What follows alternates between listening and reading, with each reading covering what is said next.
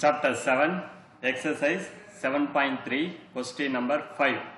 Show that the value in the conclusion of the mean value theorem for அதாவது என்ன அப்படின்னு பார்த்தீங்கன்னா mean value தியரத்தை ப்ரூவ் பண்ணணும் first subdivision f of x equal one by x on a closed interval of a positive ஒரு positive closed interval கொடுத்துருக்காங்க. அப்போ இந்த ஃபங்க்ஷன் வந்து இந்த ஃபங்க்ஷனில் இருக்கிற எக்ஸ் எதில் இருக்குது அப்படின்னா இந்த க்ளோஸ்ட் இன்டர்வல் ஏக்கமா பிக்குள்ளே இருக்குது அப்போ இதில் எக்ஸிட்ஸ் ஆகிற பாயிண்ட் ஈக்குவல்டு அதாவது சி ஈக்குவல்டு எனக்கு என்ன சொல்லணும் அப்படின்னா ரூட் ஆஃப் ஏபி அப்படின்னு நான் ப்ரூவ் பண்ணணும்.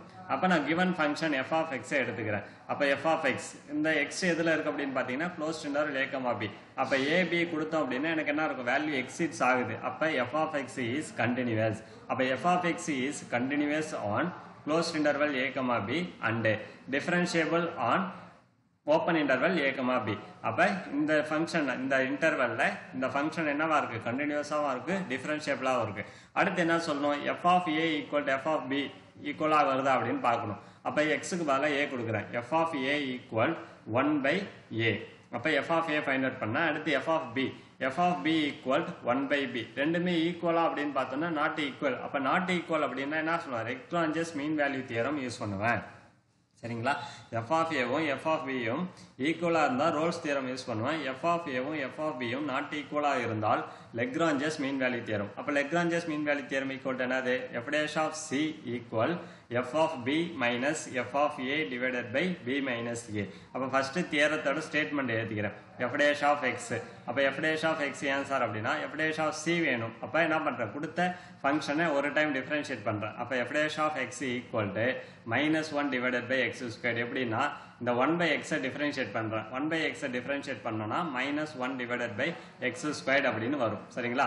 இப்போ லெக்ராஞ்சஸ் தியரத்தோட ஸ்டேட்மெண்ட் பாருங்க. F dash of c equal to f of b minus f of a divided by b minus a f dash of c எங்கே சார் இருக்கு அப்படின்னா nothing but f dash of x இந்த எக்ஸுக்கு பதிலாக சியை வந்து replace பண்ணுறேன் அப்போ எஃப்டேஷ் ஆஃப் எக்ஸில் வந்து சி கொடுக்கும்போது என்ன கிடைக்குது?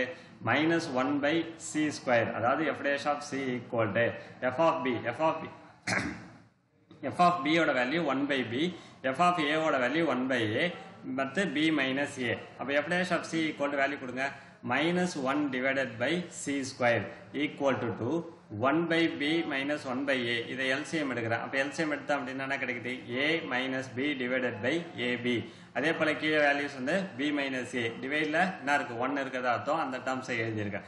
இப்போ ரெசிப்ரோக்கல் எடுக்கிறேன். அப்போ என்ன கிடைக்குது பாருங்க? Minus one by c square equal to a minus b divided by a b into இந்த b minus a divided by ஒன்று இந்த மேலே நியூமரேட்டருக்கு போகும்போது எப்படி வரும்? தலைகீழா மாறும். அப்போ தலைகீழா மாறுதுன்னா one divided by b minus a அப்படின்னு சொல்லி வரும். இங்கே பாருங்களேன் ஏ மைனஸ் பின்னு இருக்குது இங்கே பி மைனஸ் ஏன்னு இருக்குது ரெண்டுத்தையும் சேம் ஆக்கலாம். எப்படி? ஒரு மைனஸ் வெளியே எடுத்தோம்னா ரெண்டு வேல்யூவும் சேம் ஆக்கலாம்.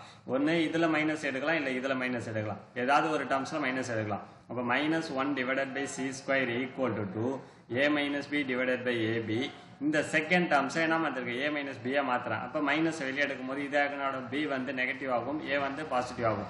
Minus of a minus b இப்போ ஏ மைனஸ் பியும் ஏ மைனஸ் பியும் கேன்சல் பண்ணிடலாம். ஸோ இப்போ கேன்சல் பண்ணிட்டா எனக்கு என்ன கிடைக்குது பாருங்க? Minus one by c square equal to minus one divided by a b அப்படின்னு சொல்லி கிடைக்கும்.